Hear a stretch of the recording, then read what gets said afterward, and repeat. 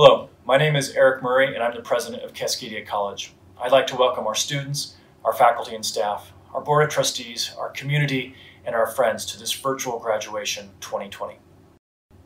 Graduates, you are receiving your diploma in a time in the United States, let alone in the world, that we will never forget.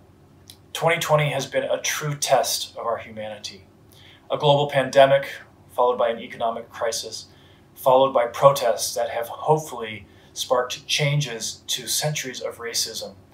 These things have all led to emotions in us that include fear and grief and anxiety, but we also hope it is leading to a true revolution. We understand the impacts on our systems and our laws and our government. And we know also that this movement has begun with the masses, and we hope it leads to true change. At Cascadia, we are scrutinizing ourselves and our college every day to understand the impacts of racial bias. We are looking to see how white supremacy has influenced our systems. We are looking to understand why students of color drop out at rates higher than white students, or that why students of color don't reach this moment, graduation, like white students do. We are looking to understand why people of color don't hold more leadership positions at the college. We are looking at every aspect of our institution to see what we can do to overcome this institutional racism. Over the next few minutes, you will hear some voices from very powerful leaders in our history, and we hope that you will take these moments to reflect on what this time in our world means. After that, we're going to spend a few minutes celebrating you because you are part of the change.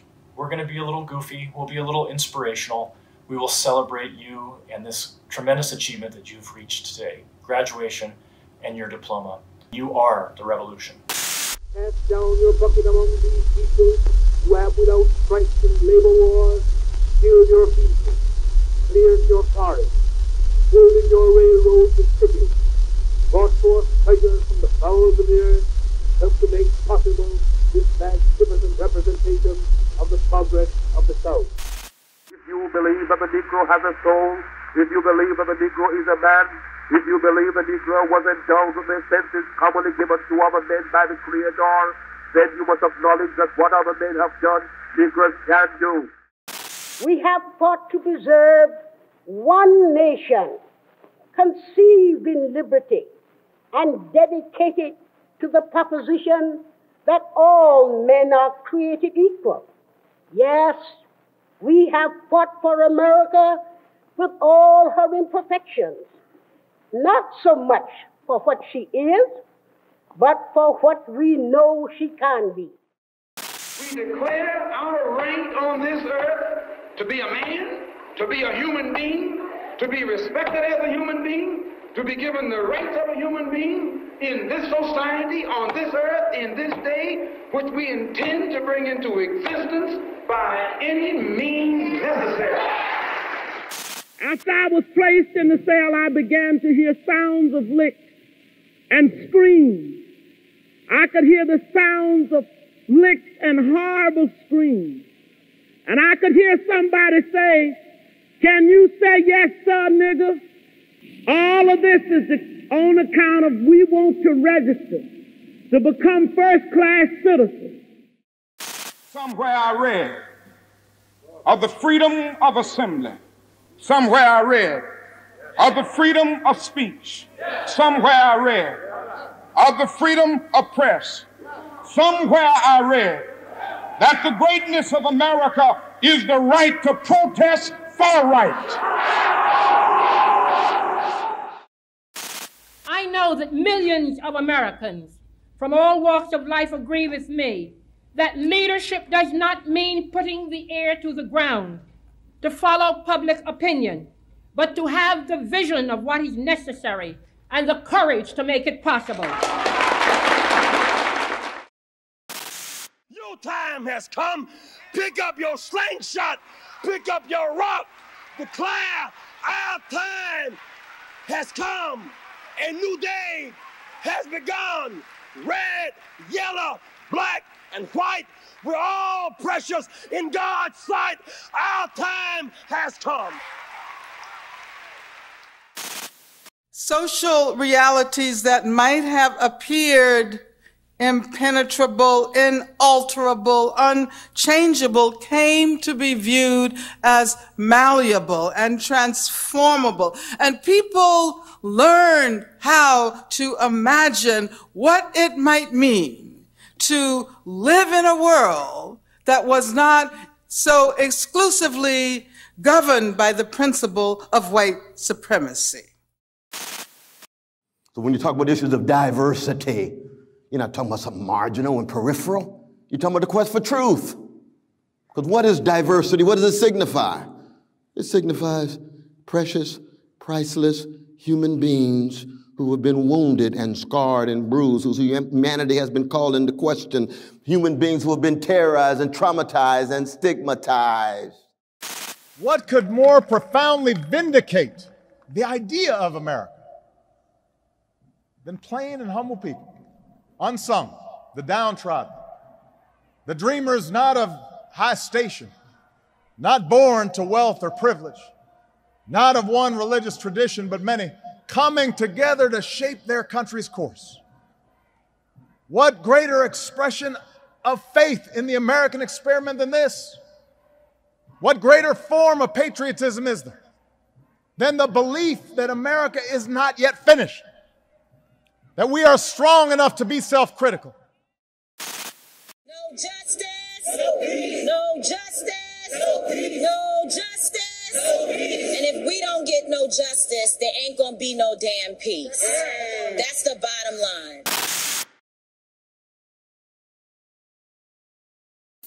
Oh, got it. Woo!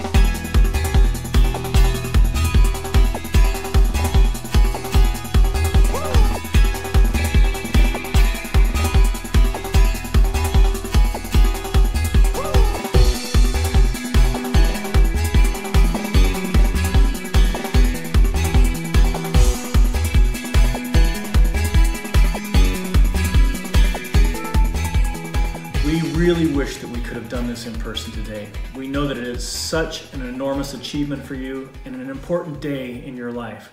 But unfortunately, we can't make that happen. And for the last couple of years, we've taught you to think creatively and critically. So let's put that to work. And with my selfie stick, I'm gonna try to recreate Graduation Day 2020 for you, our Cascadia graduates. Let me paint the picture for you. It's June 27th, 2020, in Bothell, Washington.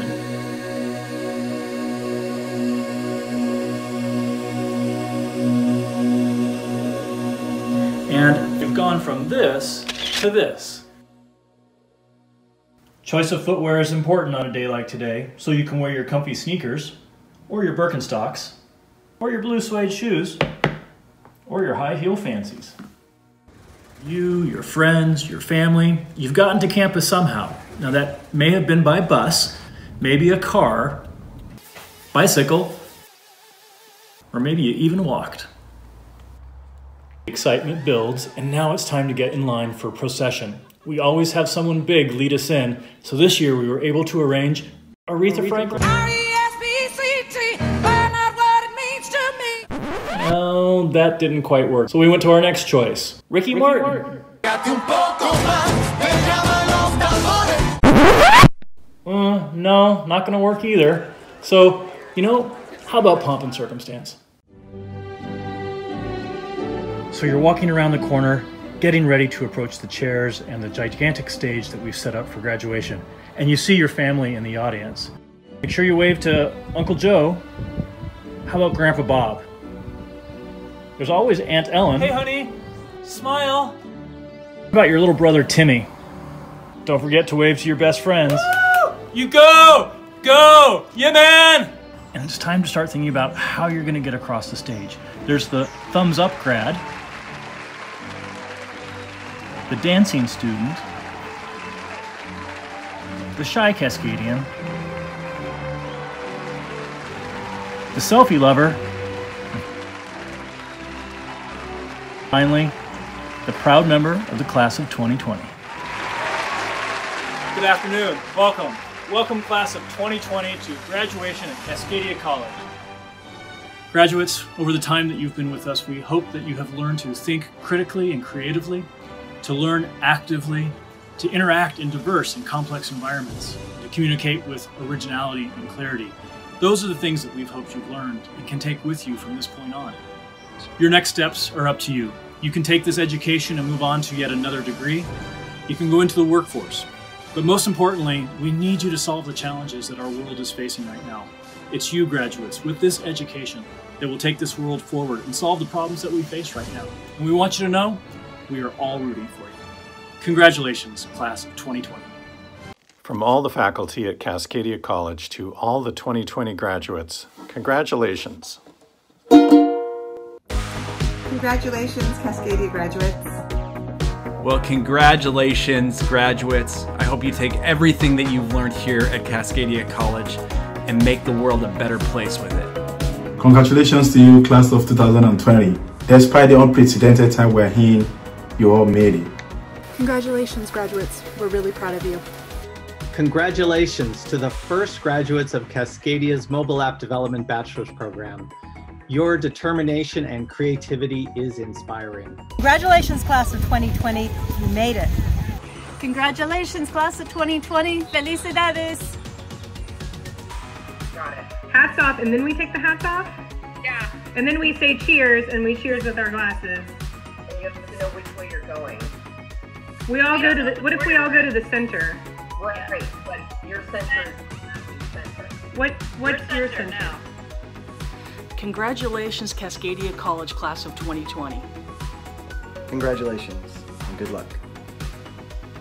I'm Dr. Jesus Perez. Congratulations to the class of 2020. I know it's been a very difficult time for all, but your generation has become more resilient and you will, will prevail. Congratulations again. Congratulations, Cascadia class of 2020. You have accomplished so much this year, and we are very proud of you. Congratulations, graduates. You persevered and you made it through some really trying circumstances to reach your goal. I wish you the very best as you move on to your next adventure. Congratulations, students. You did it. Congratulations. Congratulations, class of 2020. You made it. We're so proud of you. So if I do this, is that fun? Oh, okay. That can't be right. It is right. We're all centered. It's right on my end. Hi everyone, my name is Elisa Sandoval and I am a fellow Cascadia graduate this year and I just want to take some time and congratulate you all on your amazing accomplishment. I am so proud of each and every one of you for reaching the finish line and achieving something like this. I know it has been a long and stressful year and you've probably faced many hardships, you know, along your path, whether it was this year or last year or just somewhere along your journey. And I acknowledge that because I know I've had my own personal hardships and there's been times where it's been great and there's been times where it's been really hard. And I just want to honor that and say that I'm 100% with you all on that. And you should all be patting yourself on the backs. You should be applauding yourselves. And I hope you're celebrating yourselves and your achievement. And whether this is, you know, your first step to a new school, whether you're going to a new university, or whether you're going to enter the workforce and get a job, you know, we're all going to take different paths.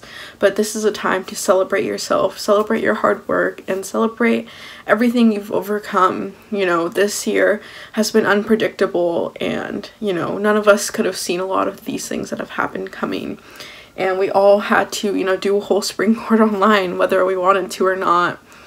And I don't know about you all, but it, was hard to adjust. It was hard to persevere through all the difficulties, you know, and that's not even including your everyday life struggles, you know, whether it's with work or school or your family. You know, we all have our own hardships, and I want to acknowledge that. Um, I've had such an honor to be able to go to Cascadia, get my education, and also serve students as a member of Student Life. Last year, I was on the activities board as a special events and traditions coordinator, and this year I got to be the programming chair for the events and advocacy board. And it has been an amazing experience. I have grown so much as a person and I've learned so many skills that are going to help me, you know, at my next college, in my future jobs, and just in life, honestly. I got to make an impact on my community, and that was something I didn't know if I was going to be able to do, you know, at this college. But I really feel like I got to leave my mark and help students and do things that were important to me. Um, I want to take time to thank my two advisors, Shandy Stomorowski and Becky Riopel, for all of their help in my journey and many other student journeys. Um, they've impacted me as a student leader. I know they've impacted countless students around the campus. And they're just amazing human beings who taught me how to become the leader I am, who given me skills that I'm going to use for the rest of my life. And not only that, I've had so many amazing memories from student life, whether it was planning my first art carnival this year or helping my first spring fest last year, which I was really sad we didn't get to have this year, but you know, we still made it work and that's something that I love about Cascadia, about student life, about my whole experience, you know. We're always trying to make things work and we're always trying to do the best we can. Um, but yeah, I'm so thankful for my time at Cascadia, for everything I've learned, for all the people who've had an impact on me. Um, I've had so many amazing professors and so many amazing faculty members who, you know, have helped me and made, you know, my next step possible going to university. And I'm never going to forget my two years here, um, whether it's from, you know, trying to get a parking spot every day or you know going to the amazing events that I get to be a part of. I had such an amazing experience and I feel like I'm going to be looking back on these days for the rest of my life and all the lessons I've learned. Um, but yeah, I'm so excited for my next journey and I hope you all are. I know you're all going to do amazing things and you're all going to persevere through life and I can't wait to see what everyone does and hear about what everyone does. And I'm so glad we get to all share this moment and celebrate our accomplishment because this is an accomplishment and you should all be proud of yourselves. And like I said, I hope you really are celebrating yourself, your hard work, and your perseverance because I know we all wouldn't be here without those things. So as a fellow student, congratulations. I wish you all the best in any of your future endeavors and um, I hope you have a great summer and I hope you all have a great next step in your life. Hello Cascadia students, congratulations on your tremendous accomplishment of graduation. What an awesome day. I hope you celebrate and on behalf of the board, we just want to say we're very proud of you. Congratulations Cascadia graduates. You have graduated during this incredibly difficult time. Quite the accomplishment for which you can be very proud. Bravo! Graduates of the class of 2020. I congratulate you on your successful completion and earning your degree here at Cascadia College. As a trustee, I am so proud of all of you, and I wish you all the best in your next endeavors. Congratulations. Congratulations, graduates. I wish you all the best on your next adventure. Congratulations, Cascadia class of 2020. Congratulations to all graduates but I want to say a special congratulations to all international students. I'm so proud of you. Best wishes from me. Bye. Hello from Human Resources and Payroll, everyone. Congratulations to all the students who have worked so hard, and we are so impressed by you. And this has been the most intense year, and you did it. So, congratulations, 2020, class 2020. Bye. Graduates or hats off, graduates? Hats off to you, graduates. Take Cheers. the hat off. Cheers. Cheers. Cheers to the middle. I forgot the third one. Good luck. Good luck. And then pose. And then I'm pulling out my tambourine. You can't stop me. Hello, Cascadia students, graduates of uh, 2020. Uh, congratulations to all of you and have fun for the summer and keep going. Congratulations. Congratulations, you did it. Yay. Have fun. Bye-bye.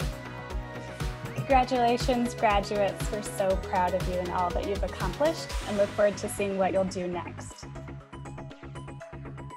Graduating class of 2020, congratulations on reaching this milestone in your academic journey. I wish you the best in your future academic goals and your endeavors. Wish you the best. Hey, Cascadia graduates. I wish we were all in person marching down the promenade, but we uh, wish you success in all of the things that you do in your future and congratulations. Before I begin, I want to take a moment to acknowledge that we are on the traditional land of the first people of Seattle, the Duwamish people, past and present, in honor with gratitude the land itself and the Duwamish tribe. I also would like us to recognize the injustices they have been forced to experience. Their land was stolen, they were stripped of their sovereignty. May we provide restitution for the damages that they have endured and restore their rightful land, sovereignty, and federally recognized identity. Thank you. Welcome, class of 2020. You did it, and congratulations. For those who don't know me, I am Doctora Soraya Cardenas, affectionately known as Dr. C.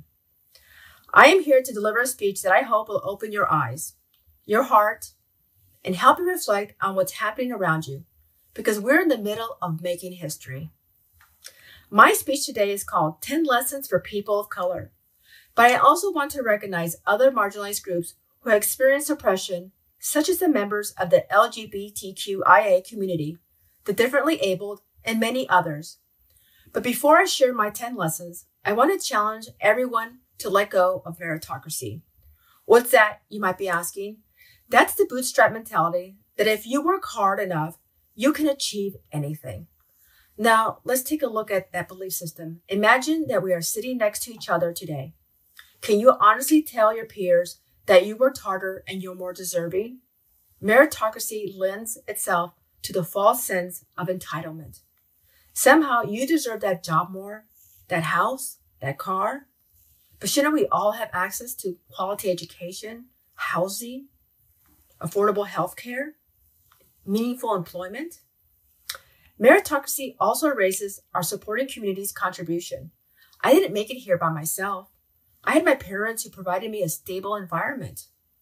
I had mentors like Teresa Baron McKegney. She made me feel invincible. My doctorate advisor, Dr. James Allen Williams, affectionately known as Al, he died last year. He pushed me to get my PhD. These are just a handful of players that had a meaningful impact on my life. Take a moment right now to recognize those who helped you, and if they are nearby, tell them thank you. So, challenge number one is to let go of meritocracy. Next, I challenge you to widen your lens. I know that I like Trevor Noah, John Oliver, and Never Have I Ever, but that is my echo chamber. I tend to gravitate towards what makes me comfortable. So, right now, with our civil unrest, some of us are being swayed by our political preferences and inclinations. I challenge you to stop labeling yourself a conservative, a liberal, a Republican, a Democrat. Just be a plain human being on this earth that we all share. We must work together to make this home for all of us, from creating safe, equ- equitable spaces, giving everyone access to basic human needs, to loving and taking care of our environment. Finally, I challenge you to help others. For example, I want to build an AI company one day that helps humanity instead of profit from them, but that's unrealistic. But what I do is conduct research about having more people of color and women in technical fields like computer science. Artificial intelligence is being built without input from marginalized groups, which is creating a system of more extreme biases and economic inequalities. For example, the crime machine that was built in New York this machine was led to, has basically led to police unfairly targeting black and brown people.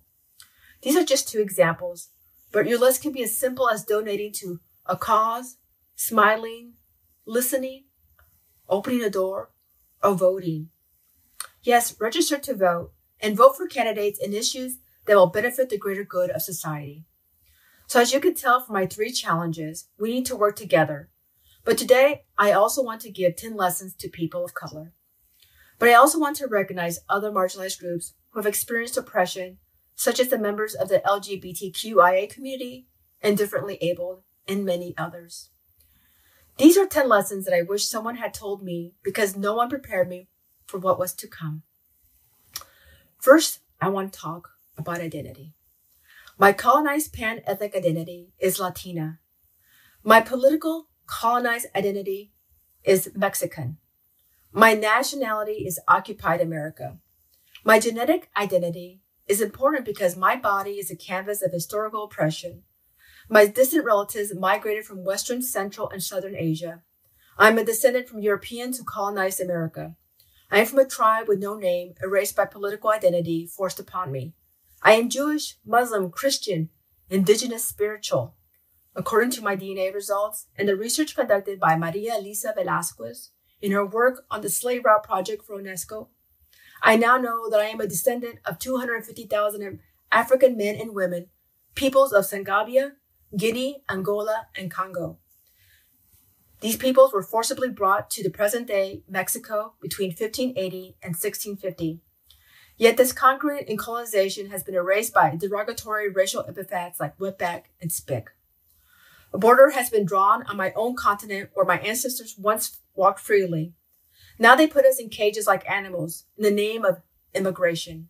I have been told I am not a First Nations people, and Mexico, the country, hid its ugly, shameful history of institutionalized slavery. And now here in America, those in power tell us who we are by putting us into colonized pan-ethnic group. So my first lesson is you get to call the terms on our own, on your own identity and embrace it. No one can or should take that away from you. Know that identity politics is a power game. Lesson number two, you'll be treated badly on a regular basis. So choose your battles wisely. Many of us have already experienced this and as you continue with your education, your degree will not soften racism.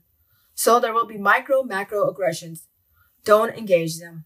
It is not our job to fight every microaggression because lots of people around us are racist. But do fight for equal pay, housing, education, and justice. Lesson number three. As you confront regular and even daily racism, find a safe space to freak out. For me, it's my car. Sometimes I drive and I cry.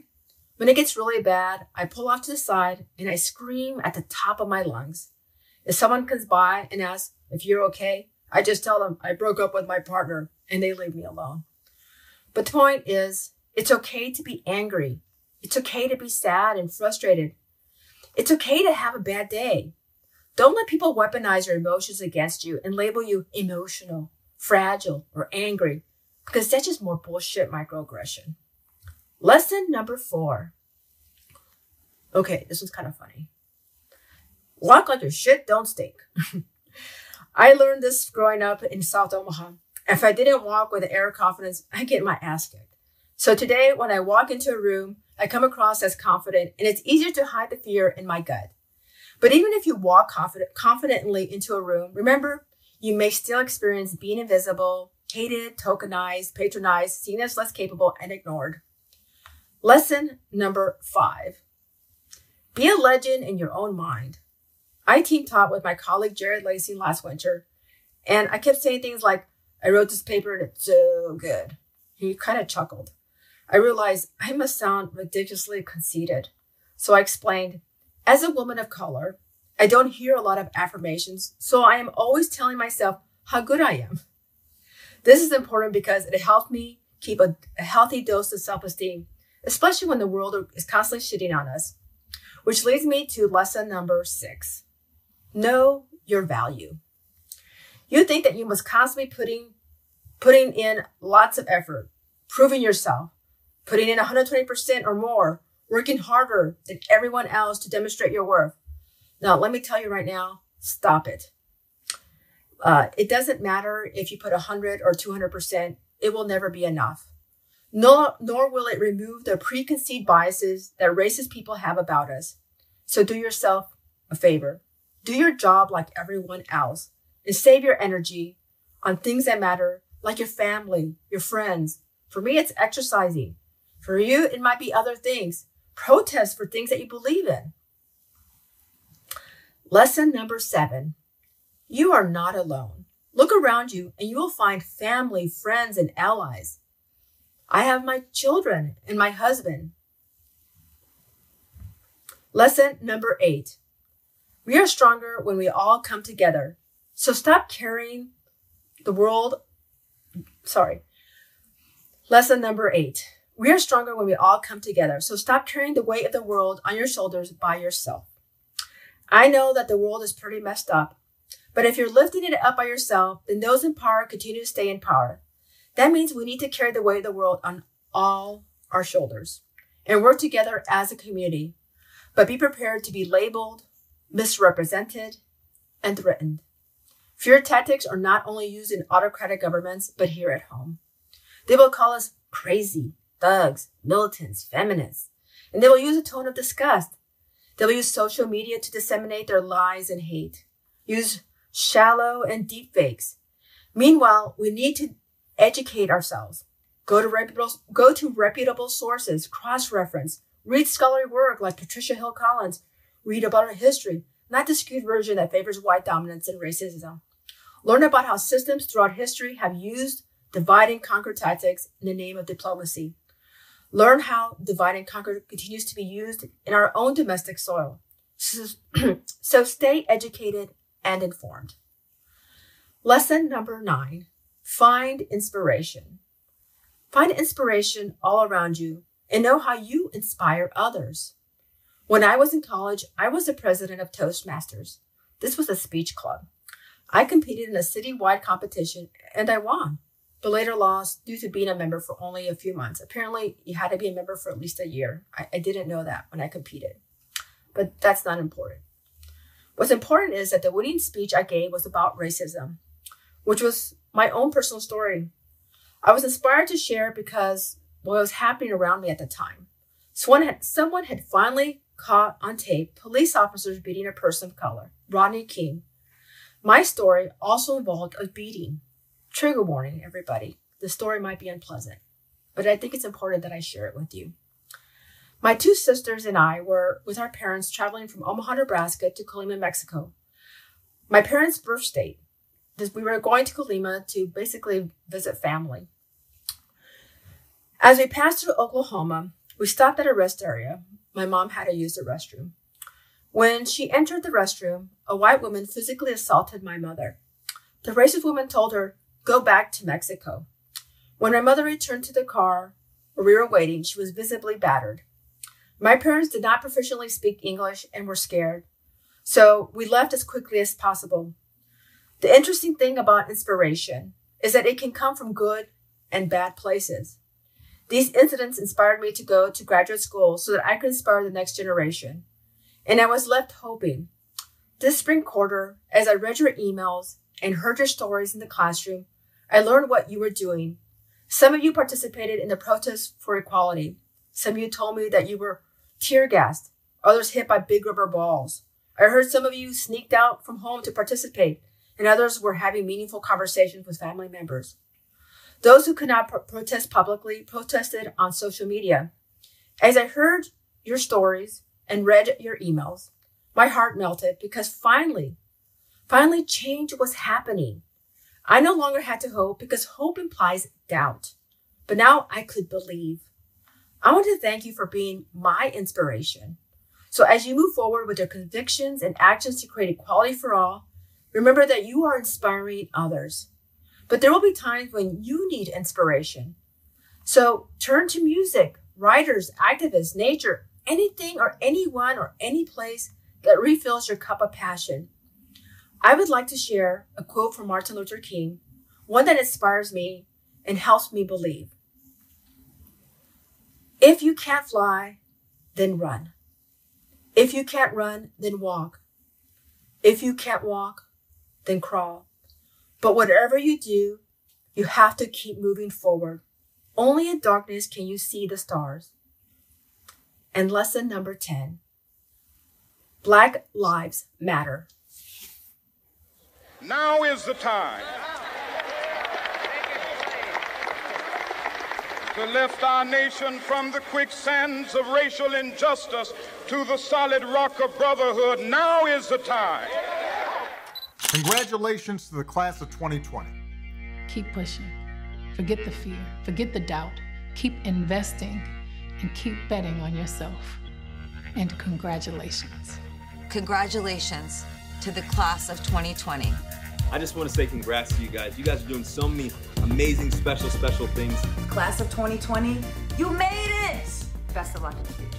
Congrats. Congratulations, graduates. Here's a big congratulations to everyone in the class of 2020.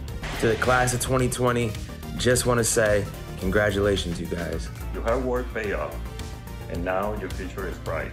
Hi, everybody. We're the Simpsons, and we have a special message for the class of 2020. Where's the damn neck hole? Hats off to you, graduate. Cheers! Good luck! That was so good!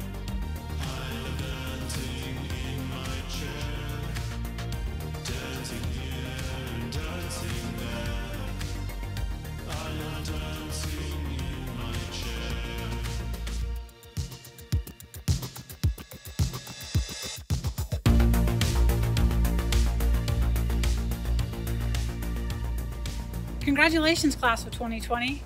I'm Carrie Levitt, Vice President for Student Learning and Success. Usually, my role at commencement involves leading the procession of trustees, faculty and staff, and our graduating students into the big tent right here on this lawn. Then I serve as the MC for the ceremony, introducing speakers and inviting you up for your momentous walk across the stage. This traditional journey of progressing in and then recessing out of the ceremony symbolizes the moment of time when you transition from student to graduate. This year, my role is a little different. I have the opportunity to offer some closing thoughts and share with you the tradition of transferring your tassels and raising your caps in celebration of your accomplishments. Before we get to that moment, I want us to pause and recognize the folks that helped us get here our faculty, our staff, and perhaps most importantly, your family and friends. These folks have nudged you forward on your most challenging days and celebrated with you on your best days. Thank you for being there for all of our students. And to all of our students, know that we are all very proud of you. Earning a certificate or a degree comes with new rights and responsibilities. As a graduate of Cascadia College, one of your responsibilities is to carry forward that on which we stand. Diversity, equity, and inclusion, collaboration, access, success, innovation, environmental sustainability, global awareness, responsiveness, and creativity. These are the values that bind us together in community. Whatever you do, wherever you go, work to make your part of this world better for everyone, knowing that Cascadia will always stand with you. Your moment has come. You are no longer students, but graduates. To the community of our trustees, our faculty, our staff, and friends and family, I present to you Cascadia College's class of 2020.